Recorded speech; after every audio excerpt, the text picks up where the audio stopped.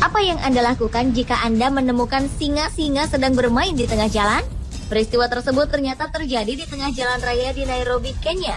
Tidak terelakkan lagi, aksi para singa itu langsung membuat kemacetan lalu lintas di jam padat.